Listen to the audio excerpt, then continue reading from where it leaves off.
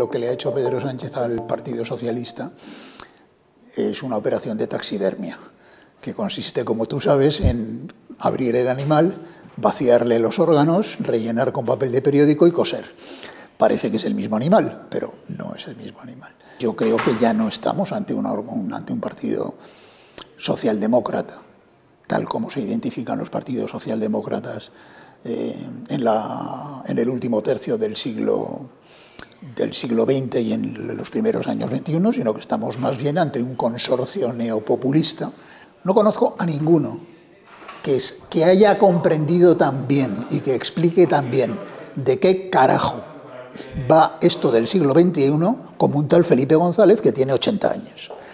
Entonces, yo es que me resisto a llamarlo viejo, porque es que resulta que la mirada más contemporánea que hay hoy en la vida política española sobre la realidad actual, y además es un tipo que está obsesionado con el futuro. Escuchas, ya no te digo Pedro Sánchez, que yo creo que es una carcasa vacía desde el punto de vista intelectual. Escuchas a Pablo Iglesias y es lo más rancio ideológicamente que puede... Bueno, y tiene 40 años menos, ¿no? Pedro Sánchez está dispuesto a dejar la caja absolutamente vacía en lo que queda del año 2023. Absolutamente dispuesto. Con tal de hacer realidad su proyecto político, que no es otro que permanecer en el poder.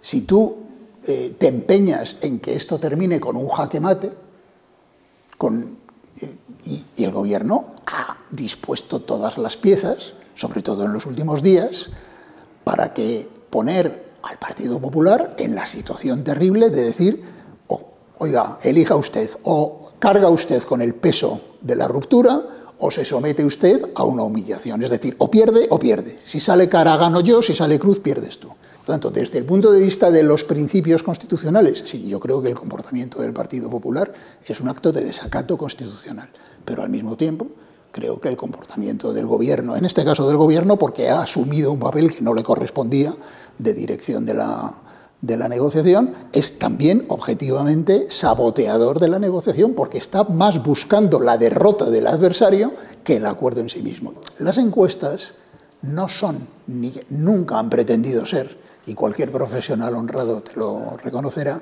un instrumento predictivo. No sirven para predecir el futuro, sirven para radiografiar o mostrar el presente. Lo que hace José Félix Tezanos es distinto. Lo que hace José Félix Tezanos es emborronar la imagen.